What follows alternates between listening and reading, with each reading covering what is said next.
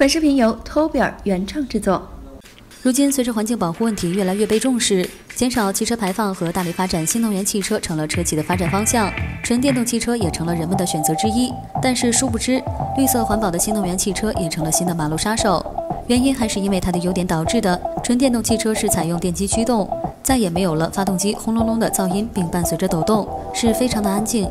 但是，就是安静这个优点变成了一种安全风险。因为行驶的纯电动汽车过于安静，行人很难判断汽车的存在。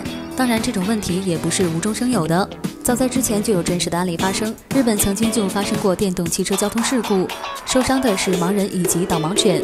追查原因是电动车车主关闭了车辆的声音发射器，让盲人没有察觉到。这件事重新引起了人们对于电动车一些细节问题的思考。正因如此，有很多国家制定了噪声控制的标准，并且要求新能源汽车在车型上装备能发出一定声音的噪音装置，目的就是在行驶途中发出声音提醒行人。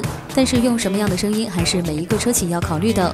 虽说叫做噪音，但是也需要一种令人愉快的声音来提醒行人。